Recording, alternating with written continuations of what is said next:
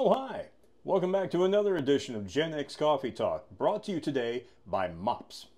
That's right, we used to have to take a whole mop, put it in the bucket, do the mopping, then rinse it out in the bucket. Can you believe it?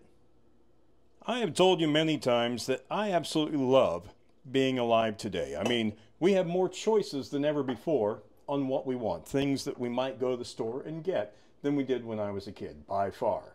Matter of fact, when I was a kid, this was the only way we could get soap. You know, just a bar of soap. That was it. And then you unwrap it, you use it until it gets down to about that big, and then meld it with all the other little remaining pieces of soap in the soap dish. However, when you go to the store today, here's what I don't like.